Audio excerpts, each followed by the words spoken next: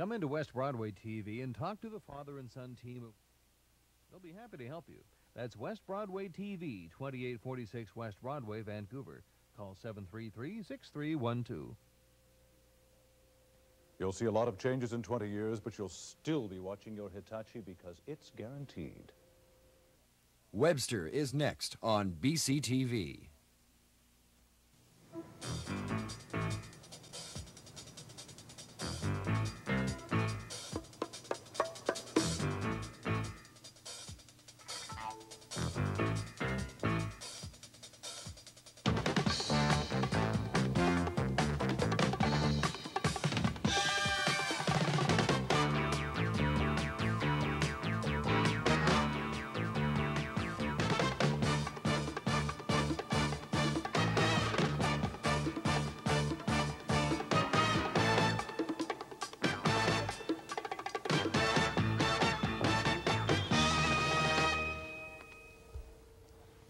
Webster is back, and boy is Webster glad to be back. May, June, July, August, all the best news stories of the year broke in May, June, July, and August. Certainly I had a wonderful time. Certainly I was relaxed. Certainly I didn't really stop smoking. Certainly I didn't really lose 20 pounds, but I'll tell you this, I didn't put on a single ounce of weight at all. And when you're on that kind of holiday, that is indeed a victory. But uh, who wants to hear about Webster? We want to know what's going on in the world. But one of the first things you're going to see on this program, one of the things you're going to see on this program today, is how I did, in fact, spend a large part of my summer. You know, what I did on my vacation by Jack Webster. And I think you will find that a fascinating expose of the Webster clan, who really are, underneath it all, quite nice people. Today I'm going to be dealing with Lots of topics, some hard, some soft, some funny, some quite exciting. But Jack is back, and I'll be here after my first commercial break of the winter season.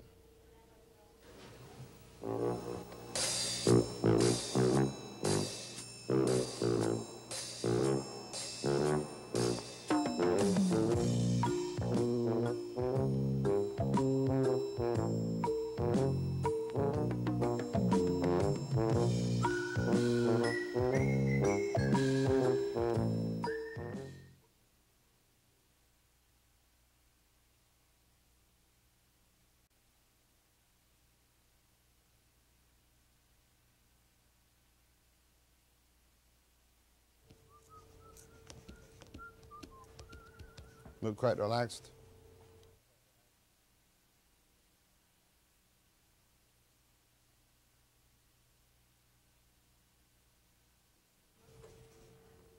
I think it's fair to say that the nation of Canada is riven by a dozen serious schisms. Whether it's the declaration of war by Peter Lougheed or the arrogance of our dear old friend Pierre Elliott Trudeau.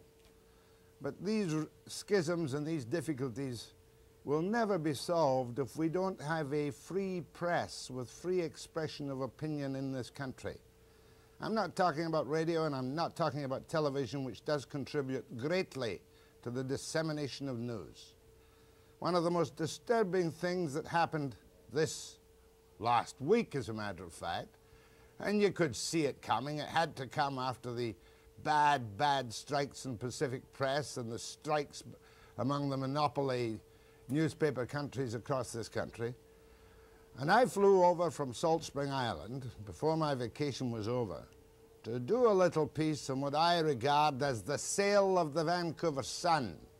Regardless of what Gordon Fisher and Paddy Sherman say about Pacific Press being the owner of the Vancouver Sun, which technically it was, and giving the implication that Southam's in latter years always owned the Sun anyway, that particular piece of uh, monopoly division is most disturbing to any thinking Canadian. Before I tell you what I think is going to happen in the future, I want you now to see first the stand-up I did outside Pacific Press, because you probably missed it last week. Once upon a time, not so long ago, there were three competing daily newspapers in Vancouver, the News Herald, the Province, and the Sun. Along came the bad fairy, Roy Thomson, And he said to Province and the Sun, buy me out and you can share the market between you. That was in 57, and that's what they did. The province went morning, monopoly market. The Sun stayed evening, monopoly market. Tonight, shed a tear with me for the final passing of the once independent, once proud, once home-owned Vancouver Sun. The Cromies did the deal with Thomson and the province, but they sold out to FP Publications Max Bell in the early 60s. And you know what's happened now. Ken Thomson, the bad fairy's son, he buys Thomson Publications. He now sells this operation, the Vancouver Sun operation, for something like 42, 43 million dollars. And despite all the assurances of Southam's, I can tell you as sure as hell what's going to happen now. There'll be an all-day one-paper town after the usual political protests and nonsense and combines, investigations and screenings in Ottawa. And we'll have a Sun province or a province Sun, a one-paper town. And the big boys in FP and Southam's can go happily on the way saying, you take Montreal as a one-paper town. I've got Hamilton. I'll take Winnipeg. You've got Edmonton, or whatever the score is. It's a sad day for newspapers. It's a sad day for newspaper men. And you know, it makes you realize that freedom of the press is freedom of the big multi-monopoly publishers to decide where and what and when you'll read. Shed a tear for the good old home on the Vancouver Sun that's gone forever. And shed a tear for the Vancouver Sun, which is part now of the Southam organization. I don't suppose I've ever felt so sad because I was city editor of the Vancouver Sun many, many years ago, worked with the Sun for seven or eight years, as when I read the editorial in the, on the Vancouver Sun after the takeover. And here the Sun is still talking about its own voice, and it says, I'm quoting the editor of the newspaper, or the publisher, whoever wrote it. We intend, says the Sun, to maintain a distinct and distinguishable voice in Vancouver. We intend to say what we think. And here comes the laugh. In this, says the once proud, once independent, once home-owned Vancouver Sun, once tough, aggressive newspaper. In this, we have been assured by the president of Southam Incorporated that the publisher of the Sun has 100% freedom in editorial policy. We will accept it. For how long will there be editorial freedom? Is, are there any laws in this country that prevent this kind of cartel operation? No, there are not. There's a combines branch which many years ago laid down a milk and water ruling, which I have in my pocket and is too confusing to read to you, that there must be no further integration of this and that and the next thing. As Canada stands now, we could well finish up with one newspaper published out of Toronto by satellite. I'm stretching the point, but it's perfectly possible, covering the whole country. It would be almost as bad as the operation of the CBC out of Toronto. And one of the things that's wrong with this country is the lack of the independent voices from coast to coast with independent thinking. Sure, free enterprise newspapers don't always represent the wishes of ordinary people, but at least you have a mix and match of opinion. And what this country needs, and it won't get it under the Liberal government or under a Conservative government for the foreseeable future, what this country needs is a Combines Act, a prevention of cartel as the Americans have to make sure that when a newspaper is sold, that newspaper must be offered on the market. That newspaper cannot be melded merely because of the economic costs or the bad management of various newspaper chains across the country. You'll hear all kinds of protests, there'll be all kinds of this and that, and there'll be, oh, we're going to be independent. We have been assured by Southam's that we in the Sun will have 100% freedom. This country, and this is a quote that comes from a newspaper man presently affected by this, whose judgment and value I respect, even though he is bitter about the whole thing.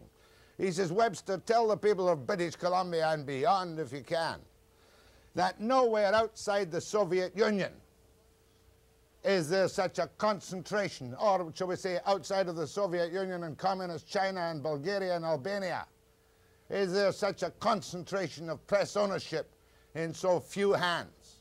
How can you have a free press? And I'm, of course, terribly concerned about the little assurances we get from Southam's. Terribly concerned about the little assurances. because there's a little organization called the Sun out of Toronto that keeps biting into other markets. I said in my stand-up Thursday night, Wednesday night, outside Pacific Press, we're headed for an all-day paper. I think we are headed for an all-day paper. Within nine months to a year at the maximum. That paper will be called the Province Sun of the Sun Province. And then there's also been little talks about a third paper in the market. My evil little Machiavellian mind makes me think, oh, maybe Southam's will start a midnight tabloid. You know, throw away for morning computers if and when we ever get mass rapid transit. To prevent anybody else coming into the market with the possibility of an independent voice in British Columbia. Because when the Vancouver Times, badly run though it was, died, what's it, 20 years ago? It still had a live circulation of 40,000, and had it been managed properly, it could have been the little irritant.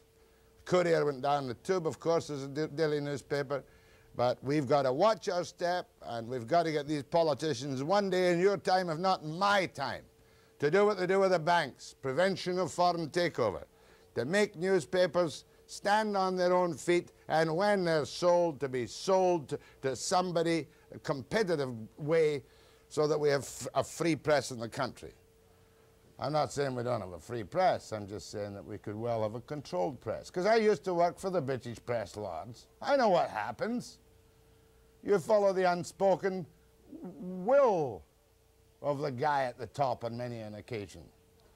Already I know of at least one column written by a Sun staffer on the, the columnist's opinion of the Pacific Press Southam caper, not in the paper.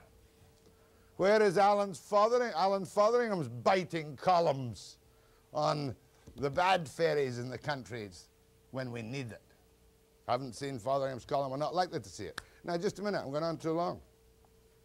The other thing about this which really disturbs me is that it weakens the case of people like myself against governments. We have the Vancouver Sun, for instance, mounting what has been, following the lead of BCTV, I might say, which broke the original stories, a good, tough, reportorial, editorial campaign against Bennett and the awful fare, the sordid, sordid and distasteful business of the mishandling of the inquiries into the Eckardt Royal Commission. What happens when the own ox is good? Wham, bam. He ain't mentioned very much, except to say we have been assured by the president of Southam that the publisher of the Sun has 100% freedom in editorial policy.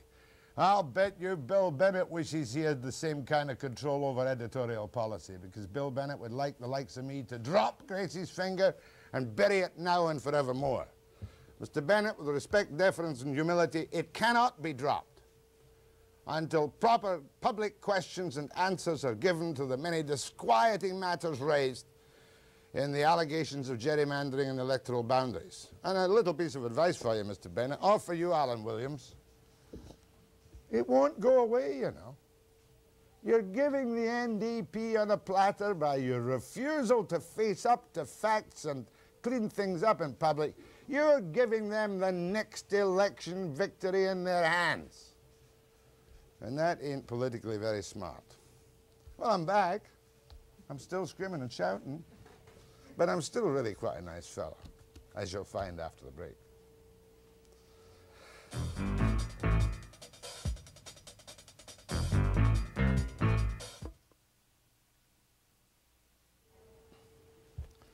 I made a trip to Britain this summer, which was supposed to be part business and part pleasure.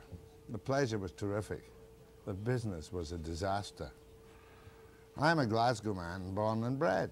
Left Glasgow in 1939. Extraordinarily fond of Glasgow until this trip. When I couldn't get a Canadian crew, it was my fault to go up to Glasgow with me. So knowing how they hustle and bustle in Scotland, I attempted to get a Scotch crew from television up there. One day I'll tell you the whole story. It was a total disaster. Absolute and total disaster. Country looks beautiful. Glasgow looks appalling, just dreadful. And I just flew up on a 97 pound return fare to Glasgow. I'll tell you one wee funny story. I got on the shuttle to Glasgow, 97 quid. Asked for a glass of water, British Airways. They don't serve water, they don't serve tea, they don't serve coffee, they don't serve a drink. They do smile prettily. Coming back after my disastrous uh, business attempts in Glasgow, quite disastrous, I rushed to catch the shuttle back. Remember I told you, 97 pound return. It's $250 for a 50-minute flight there and back. Monopoly, of course. Do what they like. I'm the last person on the shuttle plane, and it's 4 o'clock in the afternoon, and I'm exhausted. Spent a couple of days in Glasgow. That would exhaust a saint, fella, as me, with my short fuse. So I get the last seat on the plane besides an American gentleman. I could tell he was American because he was clean and smart. And I said, uh, do we get a drink on this? He said, I said, let's have a drink. He said, I've got one, haven't you? I said, what do you mean I've, you've got one, I haven't? Oh, he said they have a little secret place in Glasgow airport where when you know you're going on a shuttle flight, you go buy a little box of scotch and soda or coke or whatever. I said, I didn't see it. He said, no, they keep it hidden. He then takes out his little BA box, red, white and blue, pours his scotch and soda. Now, I've been known to take a drink, especially under stress. So I said, what about me? He says, too bloody bad, mate. He was joking. He said, you can have my other half. But the lack of service, the prices, you wouldn't believe the prices if you go fancy in Britain. You just wouldn't believe me. Um, well, tell you one price. I think I repeat it later in an interview. Walked into the Savoy Hotel with my brother, Drew. He knows his way around London. And uh, he has a gin and tonic, and I have a gin, lime, and soda. The gin and tonic you could put in your eye. He says, I'll pay. I said, no, I'll pay. Oh, no, I'll pay I'll pay it. Give me the bill, please. And the, please. And the guy says, four pound and five p. A British measure is one-sixth of a gill, which is much less than an ounce. So there were we paying four two eight four five, eleven dollars and fifty cents for two tiny drinks in the Savoy.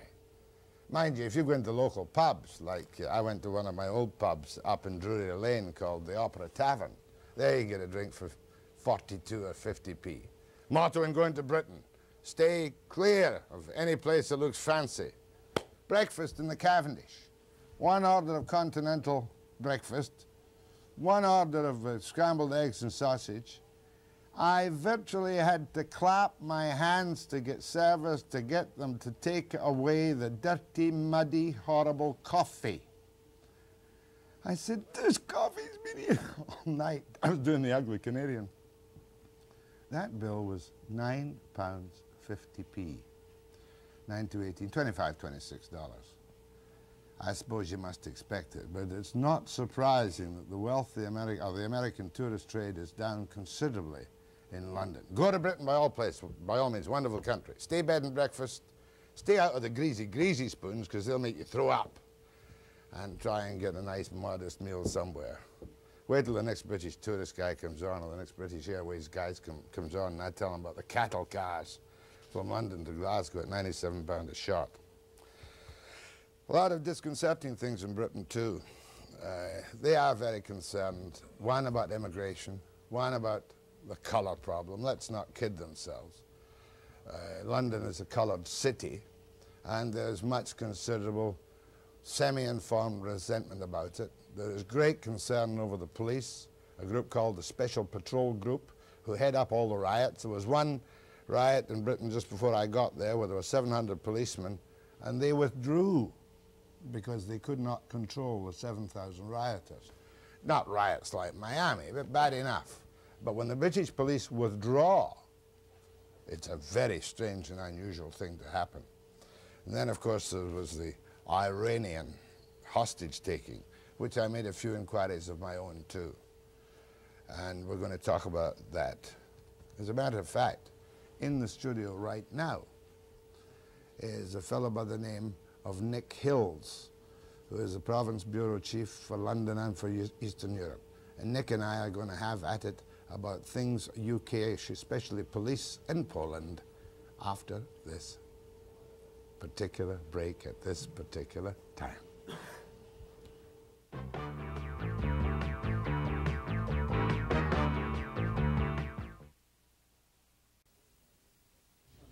As part of my break, I went to Britain just at the end of April, beginning of May.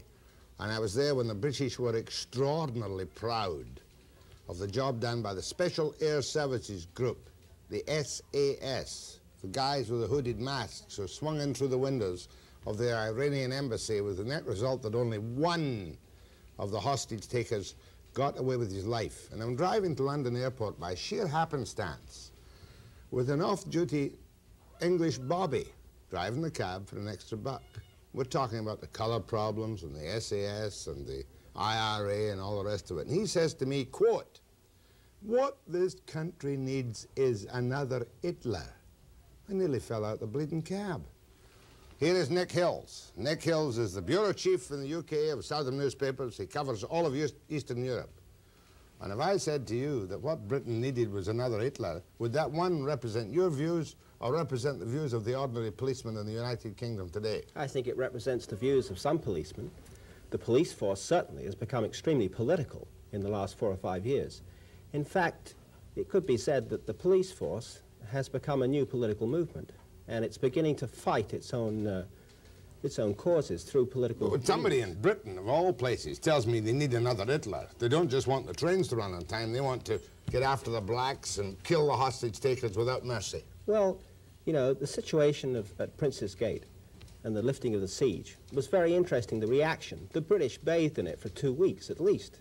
It gave them a sort of vicarious pleasure because they'd succeeded in something. They'd been successful at something.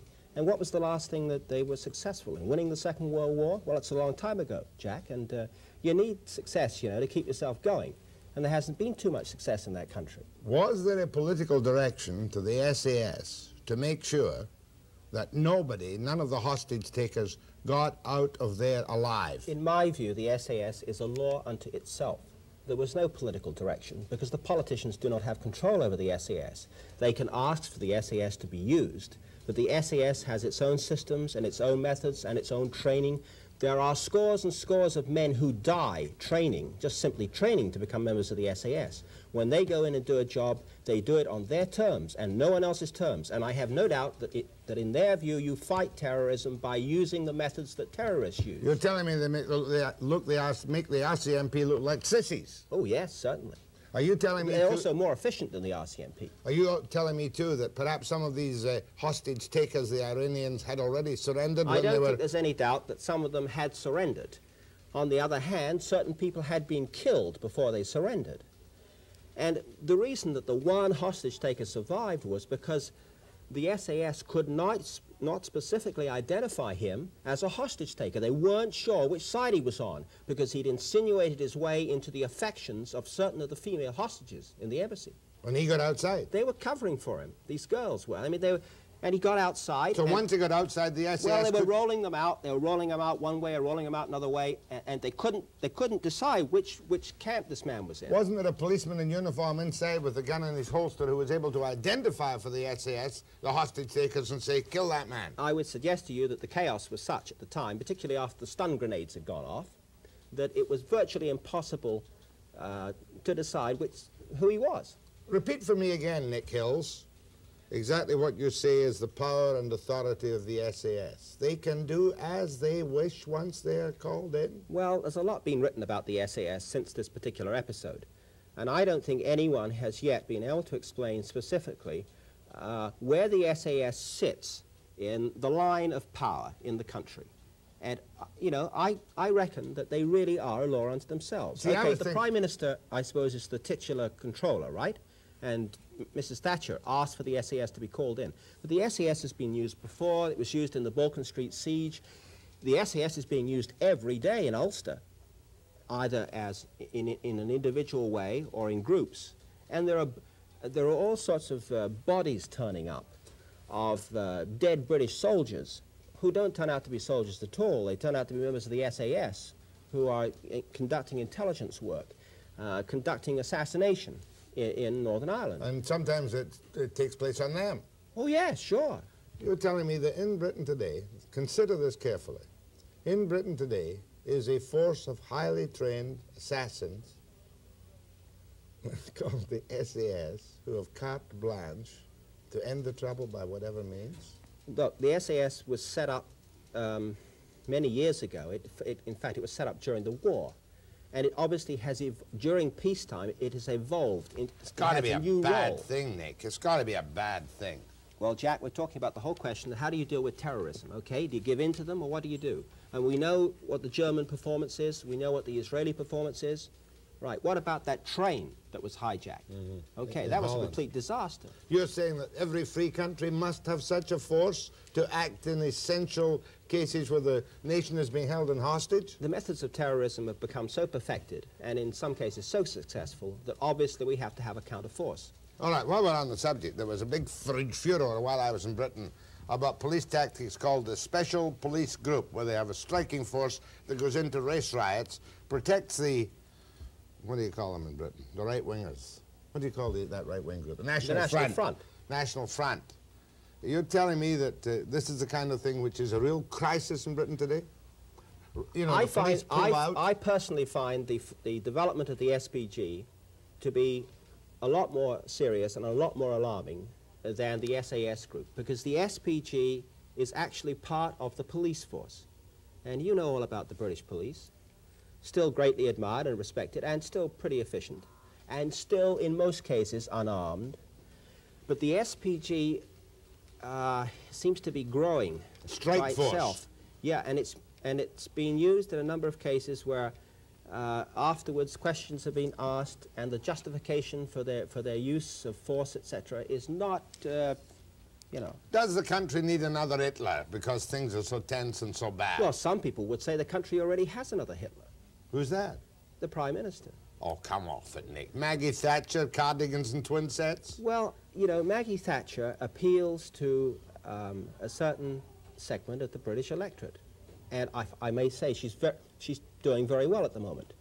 Not in her economic policy necessarily, but in her leadership role. She's a tough lady. Now, not another Hitler, but she's a very tough nut. Is she going to win or lose?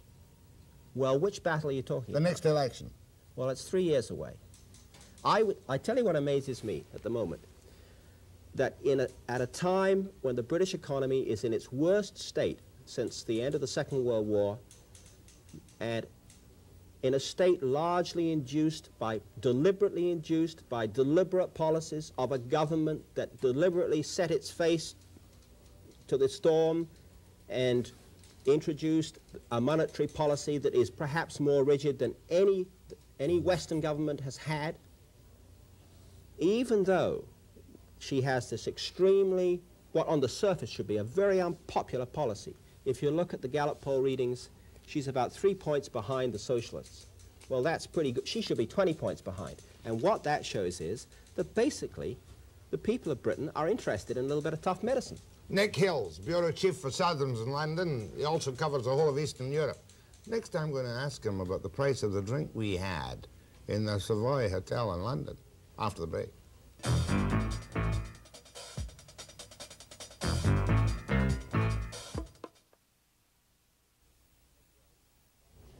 I'm only joking, Nick. Nick Hills, Province Bureau Chief in Southam. Southam Bureau Chief in the UK. That covers the whole of Eastern Europe. Do you like a drink? Yes, At- several. At British prices? Well, You and I, you and I went into the Savoy Hotel in London. Walked in there. You had a tiny gin and tonic. I had a tiny gin lime and soda, and the bartender says, "That'll be four pound and five p. Five pound with a tip. Thirteen dollars. How the hell do you survive? Well, there are two problems, right? First of all, the English are the meanest for the size of the drink. Less than an ounce. You must, you, you, you must order a double. Otherwise, you can't even see it, see it, let alone smell it or taste it. Right. And the second problem is, I suppose, that yes, it's very expensive. Mind it's you, much more expensive than, uh, than the States. But when we went to the Savoy, for instance, we knew we were going to get taken. yes, well, we shouldn't have gone to the Foy Jack, but you insisted on it. Four pound and five p, five pound with a tip. You wanted to be a big shop. Thirteen dollars for two tiny drinks you could have put in your eye. What about prices in this country? Well, I'm back here for roughly a month. I've just spent two weeks in Florida. I'm amazed. Um, America is still extremely cheap. And I don't think the Americans appreciate that they've still got a pretty healthy situation there.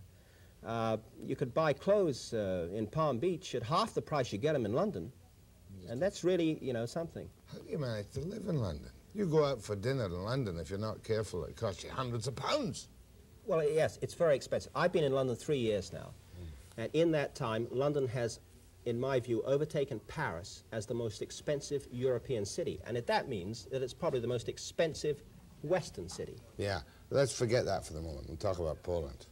You, we are now, uh, this side of the Rocky Mountains. We don't really care what happens in Edmonton, far less in Poland. You're not long back from Eastern Europe. What's going to happen in Poland? The Russians going to move in? I don't think so. Um, I was in Poland twice last year, mostly to do with the visit of the Pope, which was an extraordinary event. Um, the Poles are very different from most of the other Eastern Europeans. The Poles have managed to maintain a certain spirit, a certain identity, uh, probably uh, which is it's grown out of all the terrible things that have happened to Poland in the last 30 or 40 years. And, you know, one of the interesting things about the Poles, uh, it's a communist country, but there are a lot of Poles who don't belong to the Communist Party. Now, just for that situation to exist is interesting because it sets Poland aside from places like uh, Czechoslovakia or the Soviet Union. Now, in the case of the present strikes, well, at the moment, if you want to know what the score is, Right. it's strikers 10, government nil. Well, how can that happen in any kind of so-called, quote, communist country? That means it's not really ruled by the iron boot. Well, three times in the last 15 years, there has been some kind of industrial trouble in Poland. And to a certain and varying degree each time, the workers have won out. Uh, the last government fell 10 years ago because of increases in staple commodities like meat. Okay, the man who came to power, Edward Gierek, he is now facing the problem that they had 10 years ago. And he knows what happened 10 years ago. And this is why he's being fairly conciliatory. Is there not the presence of the massive Soviet power within the borders of Poland itself? Causing the problem? No, I mean there to prevent any real disruption of industrial services. I don't think, I don't honestly think that the Russian presence at the moment is having much effect. Look, the Russians have got themselves into a terrible mess in Afghanistan. There's absolutely no doubt about that. They, they, did, they just bitten off more, you know, than they thought they were. And they are so, they're so up to their knees in it in Afghanistan that they just simply cannot afford to get into another situation like that in Poland. Well, I'm glad you've been there because I got the impression that the Afghanis that the Russians were in Afghanistan just to flex their muscles, and that the next move would be a drive on the Indian Ocean. Well, look, I've been in Moscow twice since the Russians went into Afghanistan last Christmas, okay? And I've talked basically to Western diplomats. The first time I went in there, they, these, these men who, uh, you know, this is their career to try and find out what the hell's going on in the, in the Russian mind. The first time I talked to them, they still believed that perhaps it was all part of a grand design, right? Right. Okay. The second time I went in was two or three weeks ago for the Olympic Games. There is now a consensus that, in fact, there is no great conspiracy here. The Russians felt that here was a Marxist government being threatened, and you know what the Russians say now. The new Brezhnev doctrine is we will we will never let you know what happened to Allende, Right. right? He went down the tube. A Marxist government went down the tube in South America. The Russians say they will never let that happen again. They thought that this Marxist government In Afghanistan. was threatened. So they, went moved in. with too much power, found that they can't control the situation, much like the British did for a hundred years in between. Oh, yes, very much so. This, there's some very ironical uh, situa- Parallels in the whole situation. thing. But what you're telling me, therefore, is, a, is really a kind of ray of hope. Um, Oh, very much so. I, actually, I think that Afghanistan may turn out to be a very positive thing. It'll teach the Russians a lesson. And having been taught that lesson, it'll make the West Germans a little more cocky and the East Germans perhaps a little less cocky. Well, you know, East Germany is uh, East Germany is the most successful of the communist countries. There's no danger. One last question to Nick Hills of the uh, Southam Bureau in London and in Eastern Europe. There's no danger of Britain going socialist in the next election, but from what you tell me. I can't give you an answer to that. I'm, go- I'm going to I'm going to take the Fifth Amendment. Uh, I, I actually I thought, I really thought six months ago that uh, yes, the country would go back And now to, you to believe... Callaghan. But I have a feeling, just watching what's going on in the opinion polls, I have a feeling that Margaret Thatcher's got a hold on the on the people, and, And I think they're going to take what she's dishing out, Okay. even though it may not be right. Keep your face to the SAS. Don't turn your back on them. My thanks to Nick Hills, the Southam Bureau Chief in London and Eastern Europe. Back after the break.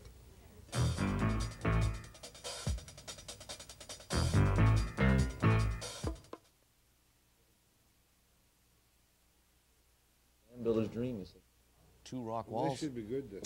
This, I mean, we've got Let it go. It could go three You'll have, you'll have about 14 minutes. How critical is it? We don't, we can't use 14 minutes. No, but yeah, it is critical because the next one is your farm, so what you can do is use Anton and Steve. Not for Go to the 14 phone. minutes. I'll go to the phones. Uh, I'm going to go to the phones regardless of the quality. Yeah, BC Tel When? is here and it would be. When? In the mi- middle of this segment. Uh, There's in- no problem for you, just We're pull the when you're patch one out. Bite your tongue. because the farm is next. Good. It is good, isn't it? A lot better than Shall I use the farm? lettuce. No. During the course of this segment, I'm going to test the phones to see if they're still working, see what you feel about things, see what stories I should be covering, see what you didn't like about what I said this morning. Well, there might even be somebody who liked what I said this morning.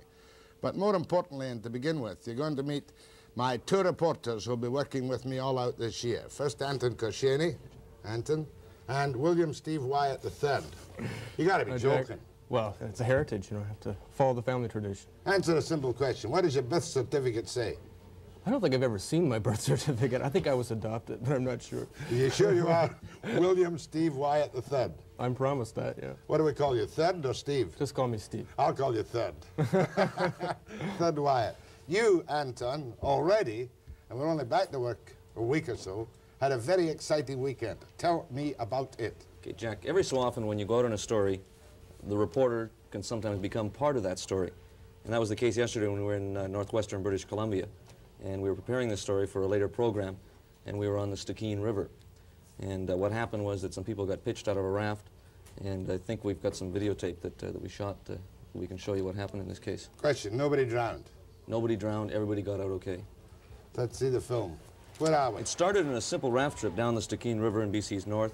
A group of people from Telegraph Creek were going to run some of the rapids in the lower reaches of the canyon so they could show us some of the beauty of this river. And when they set off, then we went downstream. They were going to take us back upstream in another boat. And while we were waiting, all of a sudden something went wrong. Five of them were pitched into the cold, fast-flowing Oh, water, God. and what was to be was a stop for pictures turned into a desperate rescue attempt. It surely did. Were these local people from Telegraph These are the people from Telegraph Creek who live right on the river and know Is the that, river. is that one of the two boats that you were traveling That's traveling the boat that we were in. We went upriver, and you can see me in the uh, life jacket there. You're in the orange jacket. I'm in the orange jacket. In a river like that, people would not survive very long. In fact, you could die of hypothermia, I've been told, about eight minutes in frigid water. By the time the boat got to the rafters, they'd already been in the water some time, and very easily some people could have died. That's quite incredible. Five. What, didn't I see a little boy in it too somewhere? Yeah, there were two kids Oh, on the there raft. Amazingly, they weren't thrown into the water. They got bounced from the bow of the boat to the back, very much scared. They went into shock after what happened was, a, you know, it was a fun raft trip that turned into a desperate struggle to survive. Was everybody wearing life jackets? Yes. So there was no, as long as it could be uh, rescued out of the water within 8, 10, or 12 minutes, there was no danger. The danger is with a fast-flowing current like that, you could end up a long way down the river and it'd be hard to catch up with people. The fact remains that uh, even these local people, they're locals, They're locals. they know the score, They know the river. and yet they're rafting over. The, the raft, what happened was that uh, apparently they went through some rapids and uh, what they call a standing wave. A wave actually hit them and threw them, just bucked Gi- them out give of me it. a hint on what your assignment is.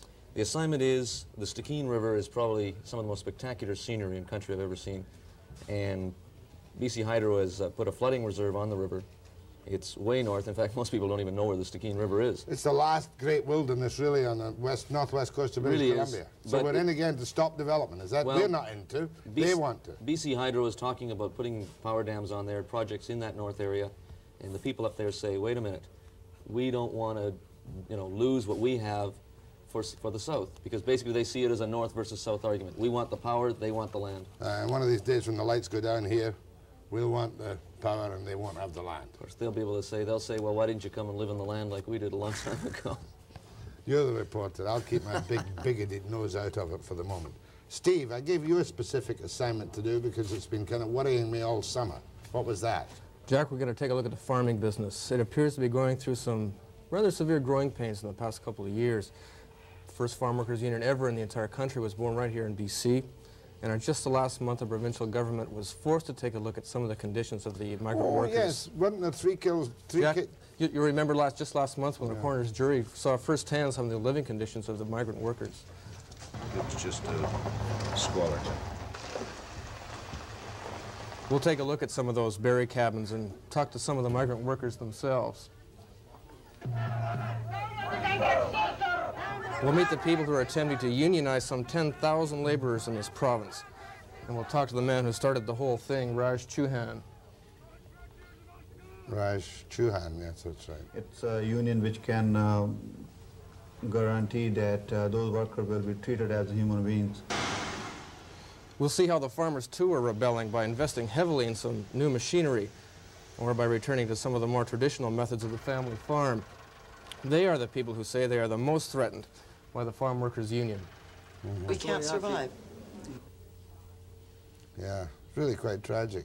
Uh, one, one thing that worries me about that is, and I think you told me this already, that some of these migrant workers or immigrant workers work on a contract basis with 30 or 40 percent taken off their wages. That's what the union claims, Jack, as much as 30 to 40 percent of the wages. One fellow I talked to makes less than $3,000 an entire year, works as much as 10 hours a day in the But fields. the why must he work for that, that migrant, for, for that particular contractor who takes a commission? You see, the farmers can't guarantee continuity of labor. In other words, the uh, migrant worker will work for a contractor. He can give him uh, several weeks of work in several different farms, and thereby he can qualify for UIC, Canada pension, that sort of thing. Oh, if he does his 25 days straight and then he's laid off after, even though he's kicking back 30, 40 percent to the contractor, he's eligible for UIC. That's right, Jack, and the important thing to note is that the contractors have never been licensed or bonded. That won't happen until perhaps next season.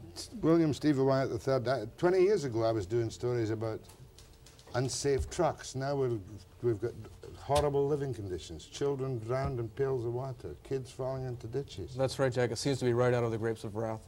Doesn't it? Awful. Now, you had a very, not an unusual assignment for Vancouver, but we're taking a somewhat different look at the worst nuisance in the streets of Vancouver. Is that not so? I would say that it's probably the worst nuisance in the streets of Vancouver. What are you doing about it? Well, it's, it's really, you can't do anything about it. No, what are you doing about it? What am I doing have about you- it? What have you got coming up about it? Well, we took a look at uh, some of the s- scenes on the street. We took a look at the street in Vancouver. The problem, of course, is, is like you say, it's, it's an old problem. It's uh, really, I guess it's a moral shame. What it is, is prostitution, the oldest profession in the world. We're back at the old continent again. And the business of finding a trick is in plain view on the city streets. If there's such a thing as a high-class hooker, then this is exactly where you'll find her. Yeah. This is the hotel strip, you might say. There's five, three more there, and it's eight, eleven, fourteen. There's fourteen in this block right now. Now, that was shot in a police car with a vice squad officer, but the police are failing to control that problem on the streets of Vancouver today. Here's a cop here. Hey, my friend. I'm looking for somebody. Somebody, Oh, are ya? somebody got Well, don't look for somebody down here, okay? Because you're obstructing the traffic here. Oh, well, don't I'm try picking up the somebody. whores off the street, okay? The whores. Goodbye. You know him? It's not my style. Did you have a, did you have a radio mic on the police officer? Yes. And you, and he used it to pick up the voice of the hooker. They, you're right. It came off. It came off him. You also were picked up by a hooker, are you not? Sort of. Sort of. I mean, Don't, don't. I'm my wife. I mean, no, no, no, I don't mean that. The fact is, though, that I decided uh, to take a good, hard look at the situation. And we take an especially hard look, uh, and I think it'll be tomorrow, subject to present, present plans, with Chief Constable Don Winterton. None of this soppy nonsense about the freedom of people to do this, that, and the next thing. there must be some standards in the community. And I consider it part of my job to show you not the glamorous side, which some people try to show you, of drag queens, transvestites, poor little misguided boys, and the Mr. Pervys of the world, but the real facts of life about what happens and why people should be, in this small, comparatively clean city, quite concerned about it. You've enough to keep you going, Anton, haven't you? Yes. And you too, Steve. Oh, yes. Or third, as we may well call you from now. No, I'm only joking about that. Uh, and what I'm going to do now is I'm going to take phone calls. And you're going to hear a new name this morning instead of Linda, who finished with us last year, and we're all terribly sorry to see her go. We're going to take phone calls. Here's the first time you'll hear this name on the program. Gladys, can I go? Any phone calls? Which one? Where are you speaking from? Hello? Hello? Are you there? Hello, are you there? Are you there? Hold on, hold on. You'll be the first call. Yes, go ahead, please. Welcome back, Jack. Yes, ma'am? Great hearing our Scottish irritant voicing his views on the various issues of our country today. Glad to have you. Nice, nice of you to speak to me. Uh, go ahead, please. Yes, good morning, Jack. Uh, welcome back from your holidays. There's a bit of a hum on that phone. We'll have to get that hum out today. Uh, I, I, Yeah, carry on. I can hear you all right, despite the hum. Carry on. Okay, Jack. Uh, what I wanted to talk about this morning was uh, I was listening to you talk about the sun and the province. Mm-hmm. Now, uh, in my community here of Burnaby, uh, quite a few people get the province, and uh, quite a few people seem to be changing over to the sun. Now, I think it's due to the negligence of uh, the delivery service that they are having. Oh, the delivery service is the least of my problems connected with the newspapers. Uh, That's right, Jack. And what I wanted but perhaps one day they won't have any choice and they can have the province sun. To understand that, but uh, the people uh, know that uh, we need the province uh, like we need more Iranians right here in Canada. Thank you, sir, for that kind, tolerant, and gentle remark. Go ahead, please. Uh, Mr. Webster, uh, I'm glad you are back. I was just thinking a few uh, days ago that uh, you might be able to uh, perhaps get uh, Mr. Bennett or... Well, you heard me this morning. I, I've already put in a bid, bid for Mr. Bennett. We haven't had what you might call a positive response yet, but there uh-huh. are so many major provincial stories that have to be dealt with. There's the British Columbia Utilities Council, in which I made a preliminary canter, and find that this act, which has been passed by social credit, I don't think the NDP objected to it because I'm told by people on the, in the the right of centre that the BCUC is straight 100% socialism by which the cabinet controls the entire energy development of British Columbia in the most overt way. And that's rather interesting. What does that say? 351 Gabriola. Good morning on Gabriola. Hi. Yeah, I'd like to comment about the, the reporter's um, story on the Stikine River. Yes, please. Anton is here. Yeah. Um, well, first of all, it wasn't the people from this area or the Stikine area that overturned in that boat. The pictures of the individuals you had was Carol Sinats and her two children who live in Victoria.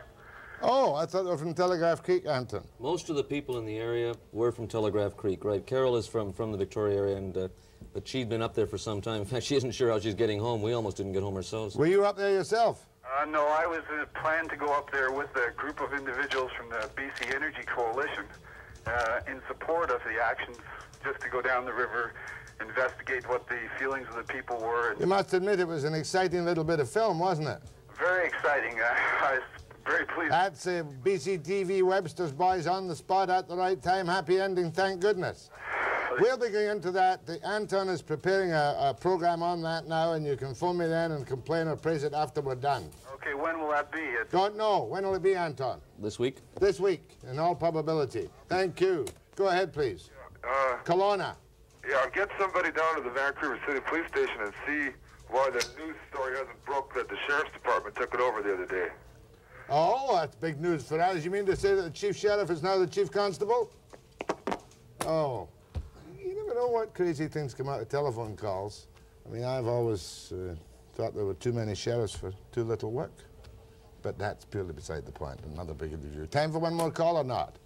Short one, go ahead, please. I just tuned into your uh, your clip on the prostitution in the West End. Or Ye- in the, yes, yes.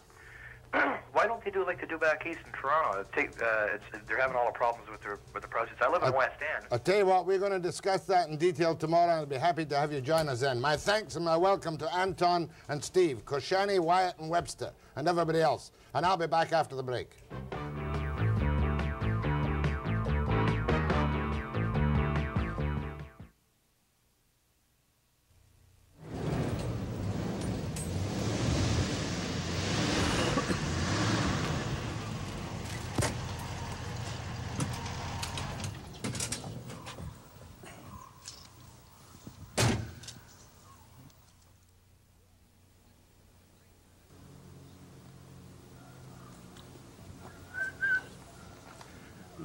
Fancy seeing you here.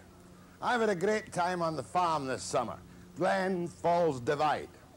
It's a hobby farm, and any farmers watching had better not criticize my operation in any way, shape, or form. It's my job to criticize. It's your job to enjoy this program.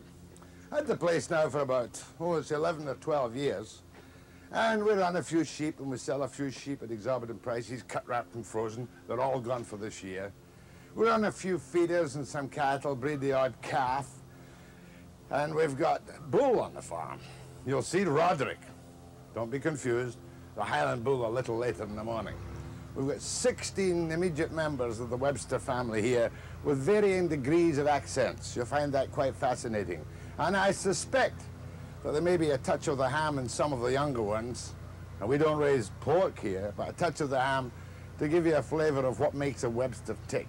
And why don't you come with me and we'll have a quiet look around. We might even barbecue your hot dog at lunchtime. Come on.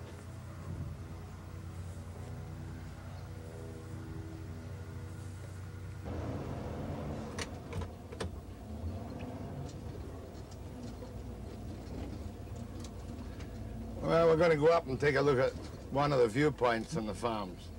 Thanks, Jack. Thank you. So, see you later. Won't be long.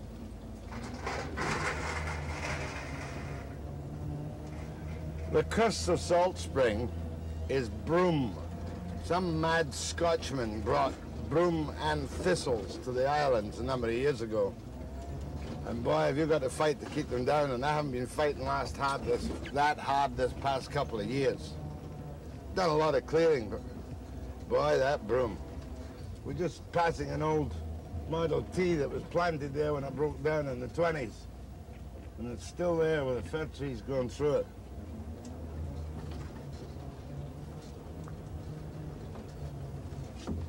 Only twice have I actually taken a crop off the farm. Grew uh, 600 bales of good oats, and the barn smelled like porridge all winter, but the only trouble was that I had to sell most of them because, most of the oats, because sheep won't eat them. Anyway, up in the viewpoint, just give you a broad view of where we are.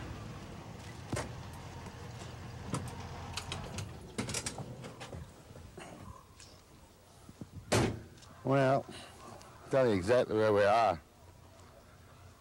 It looks like a valley view in Scotland, except that it's nicer. We're just looking down across Blackburn Lake to Cusheon Lake and out into the islands across there. If you can see the barn, which I think you can, that was put up by old Mr. Jameski and his friends, I believe in one day, around about 1921, 1922. And at that same time, he built, along with Mr. Van Buskirk, a water wheel on the creek and ran power for years in the heavy runoff in the creek that goes down to Blackburn Lake. Just an incredible piece of work. I, unfortunately, have let it go to pieces. It's a shame. So we've got the barn and the chicken shed and the sheep shed and the old house and a mobile home, which we use for kind of temporary accommodation. And every fence you see, young Webster and old Webster split the wood, stuck them in, and strung the wire. 2,000. 2,000 bits of fencing. Used every piece of dead cedar that was lying in the place. Nice place. About 94 acres. Getting a bit big, though. For an old fellow, let me...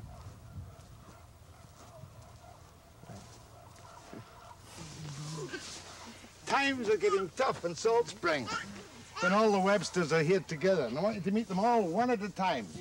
And first, Daniel Webster. Come on, Margaret. All sitting here together. Little kids, hi, little kids. Are you coping? Barely. Go join the gallery. Next one, please. Next, anyone? Alexis. Lexus from Kamloops. Gorgeous girl. Bright as a pin. Smile and say hello. Hello. Here comes that next way. one. Hello. Next one. Oh. Next one. Robert. A year old. Just a year old. Looks like a Japanese sumo wrestler. There he is. And Alexis is going to carry him out the shot. Next one. Fiona from England. My English grandchild. Beautiful girl. Smart as a whip. Say something in English. Like, how are ya? How are ya? Kiss. This is Miss. Your name, please? Jessie. And where do you live? Very bright. Wave to the camera. Wave to your friends and Kamloops. That way, please, ma'am. Next one. Uh, put one foot up in the air and balance, please. As you did yesterday. Teaches me to do that all the time. Megan McKee, gymnastic star. Thank you, Megan. Next one. Angus. Duncan. Duncan from England. How old, Duncan? 14. How tall? I don't know. Five, ten, something like that. You've done well this summer. Next one. Angus the angler. This is uh, Angus the angler. He's six. No, he's six feet four. No. No salmon yet. We'll get one before the end of the holiday. Big John, father of Angus and Duncan. Other John. Fiona. This one's six feet four as well. That's right. Next one. Joan, who still has a Scotch accent, don't you, Joan? I do indeed. John's wife. Angus Duncan and Fiona. Okay. Enjoying yourself. Yes, smashing. Smashing. the cowboy singer from Kamloops. Yeehaw! Name, please. Jennifer. Jen- Jennifer. What happened to your boy? I don't know. He's gone. He's gone. Kiss. Kiss.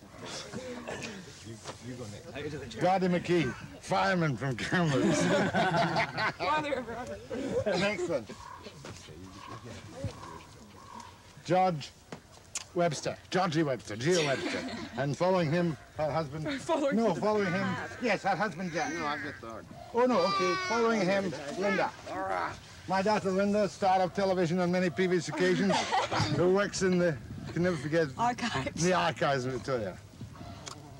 Notice beautiful color combination. Next. Oh. Your name again? Webster. First name? Jack. Oh, pleased to meet you. Pleased to meet you. And Freya, the most important member of the family.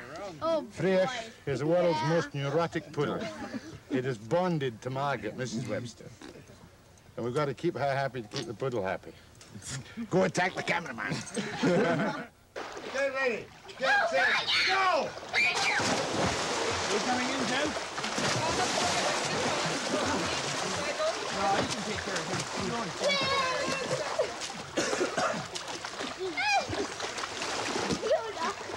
Oh, good swing.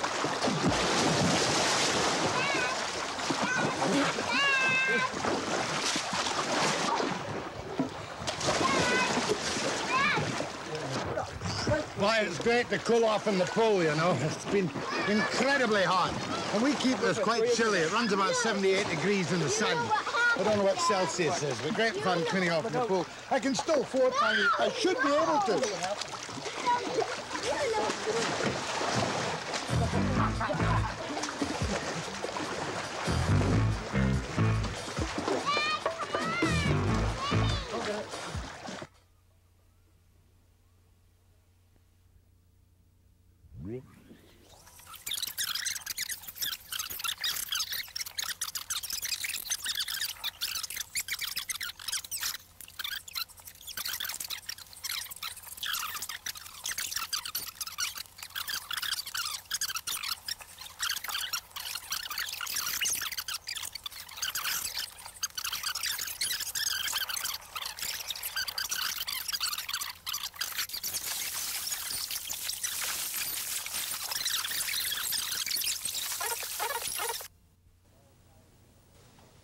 Well, it might seem all fun at all times in a place like the old Glen Falls Divide, but it's not really. An awful lot of chores to be done. You got to check fences, you got to look after the condition of the animals, you got to do a little bit of bulldozing now and again, and you got to make sure that they're being properly fed because Salt Spring dries up awful quickly and the price of hay is astronomical now. However, we'll get the family together and we'll go and see the odd chores we have to do. Come on, kids. Come on. Duncan, Angus, Jack, the girls. Come on. We're just going to see the sheep. Have a look at Roderick the bull. You never come over the fence here unless it's a grown-up with you. Isn't that right, kids? Isn't that right? And there's Roderick. Accidentally dumped a, uh, The wire, too. well, no, I didn't leave the wire. Come on, Rod. How are you? Come on. The size of his horns. Come on, sheep. Come on, sheep. Come on, coos. Uh, Where are they? They're all around the barn. Well, they- Oh, throw some apples down? well, we've got to get them round here first, haven't we? Come on, sheep. Come on. Come on. It's too hot for them just now. All right, come on through, kids. Come on.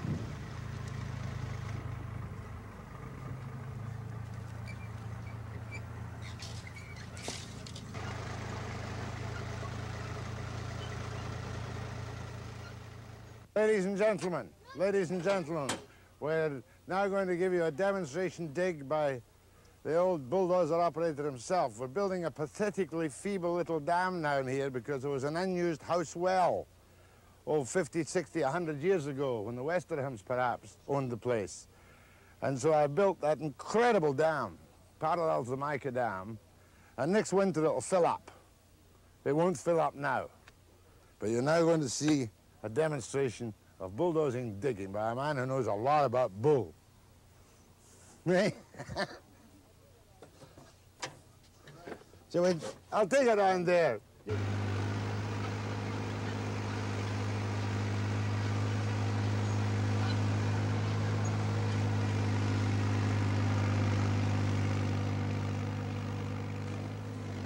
It's a useful thing around the place, you know. It really is. It's an, an adult grown-up toy. Uh, what is it? The size of the toy depends on the age of the boy.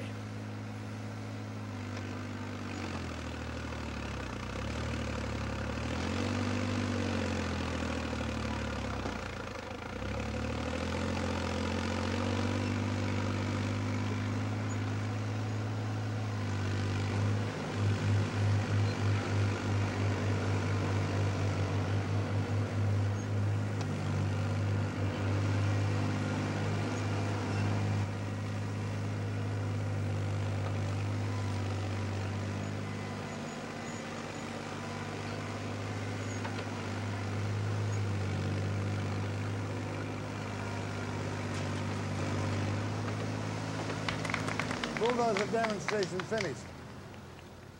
Really not very difficult. You've got to be terribly careful you don't get yourself in a tippy position. I should be wearing earplugs, compensation board. I should be wearing a safety hat, compensation board. But I do turn it off before I get in and out of it. And I got a compensation board tested thing put on it. It can stand on its head. And I was advised by an expert, if you tip it, stay inside, don't come out.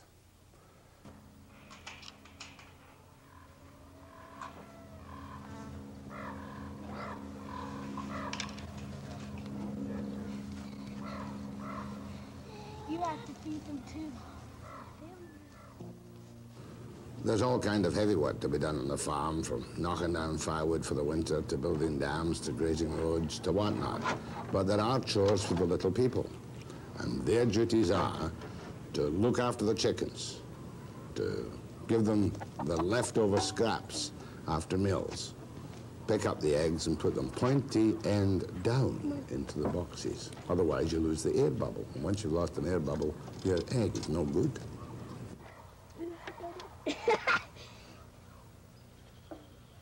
The number of chickens we have depends on the local population of raccoons.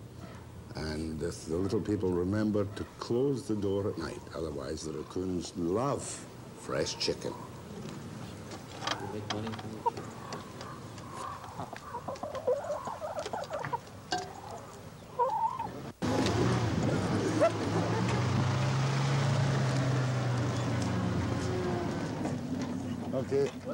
On, let's pick a tree for demonstration purposes only. Oh, this one right here. This is Far enough from the bar line. Take this one here. I'll let the other one grow. I'll take them both. It's leaning the wrong way, Jack. Oh, we drop it that way. We'll drop it that way.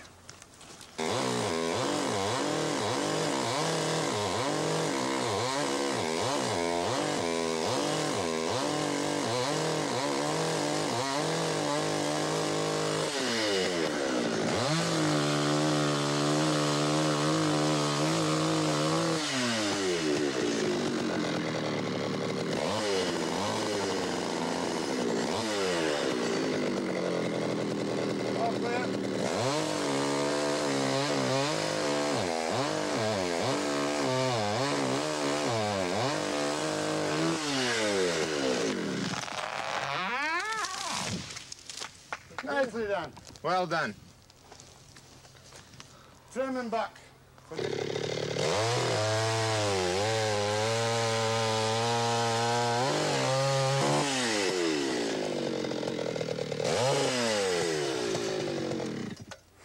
Splitting party. Where's the slides? Where do we put the? You've There he goes. There he goes, hooray! Can be done with wet cedar.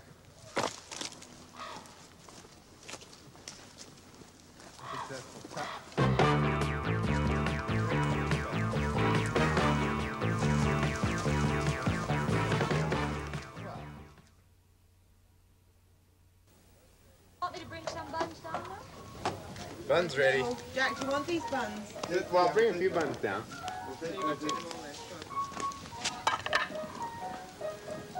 Don't. Don't worry about cigarettes.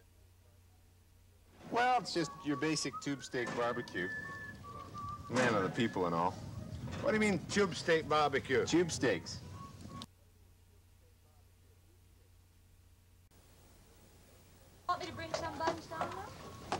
Bun's ready. Jack, do you want these buns? Well, bring a few buns down.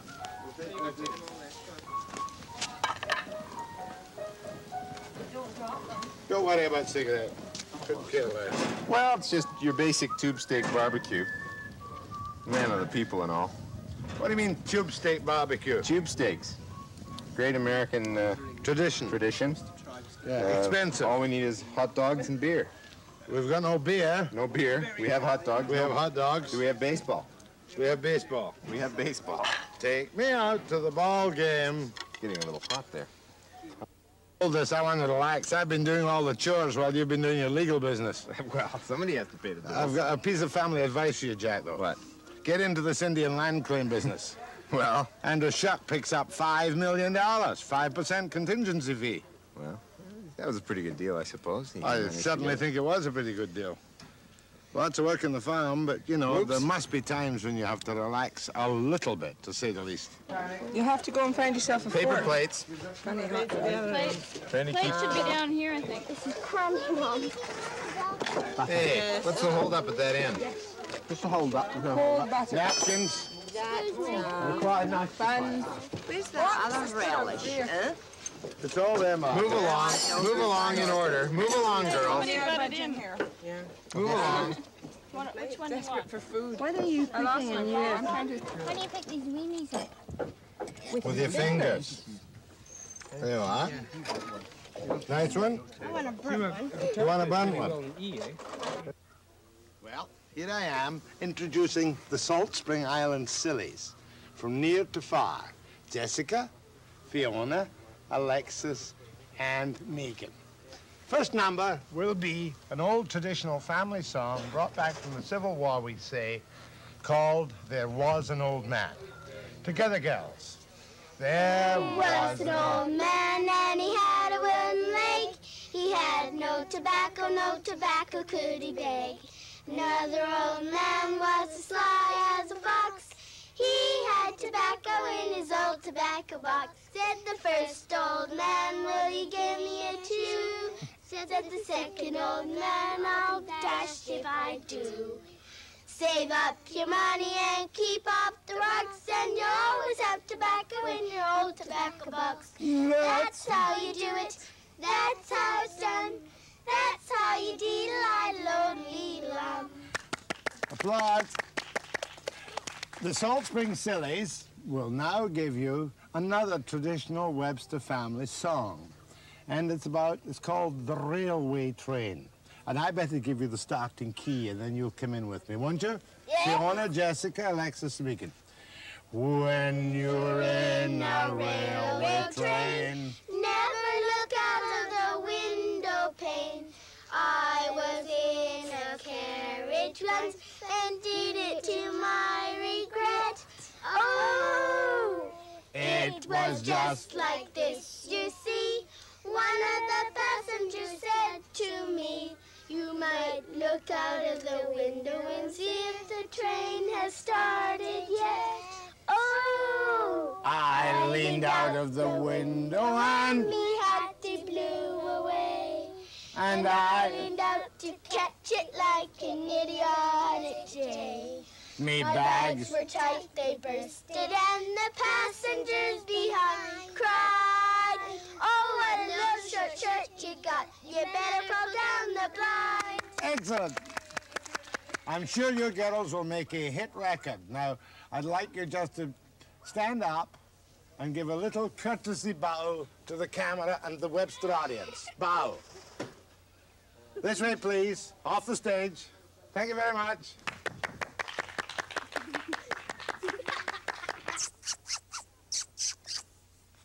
Good lamb, good lamb, good lamb. Got five good lambs to go. Sheep are such a struggle. Too many things go wrong with sheep. Got to tell you one story.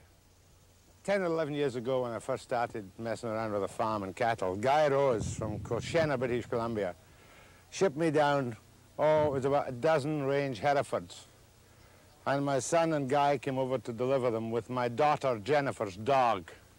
We put up $3,000 worth of expensive fencing at the time. The dog spooked the cattle. The cattle disappeared up in the mountainside.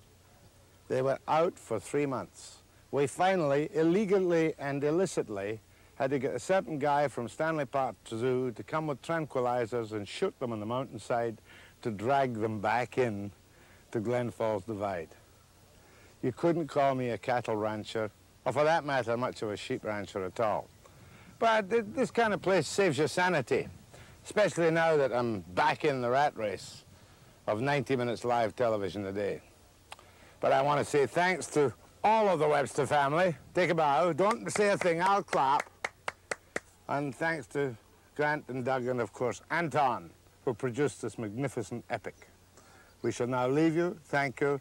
Go and have a quiet, private swim, and perhaps even a gin and tonic. Come on, folks. Let's go. Everybody up. Come on.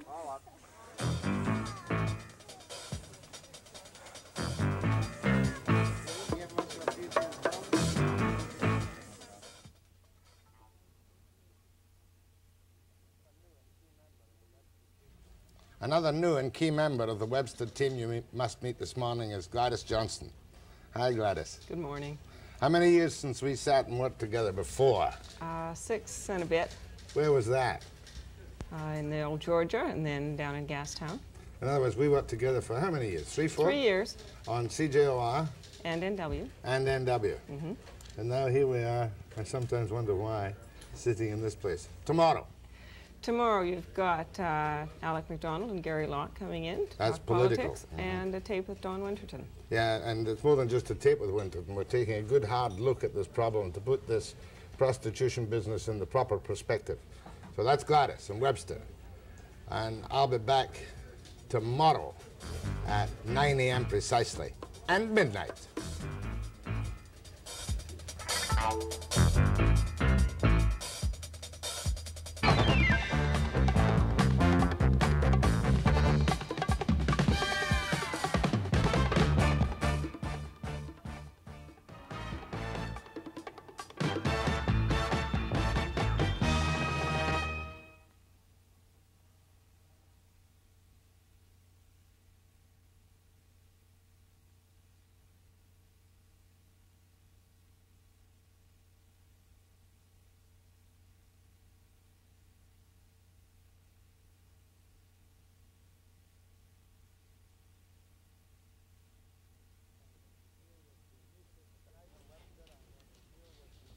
Tonight on Webster, I'm going to deal with the newspaper situation in Vancouver, the disappearing newspapers, especially the Vancouver Sun. I'm going to deal with some of the major problems which our friend Mr. Bennett has to face up to and cannot avoid. I'm going to interview Nick Hills of Southam's on the British Murder Squad, the SAS, the Special Air Services, the Special Ass Assassination Squad, as they call it in some places. You're going to meet Webster's new crew, Webster's merry men, Koschany and Wyatt. And you're also going to meet Webster's family. And believe you me, that is something different, to say the very least. All this after this commercial break.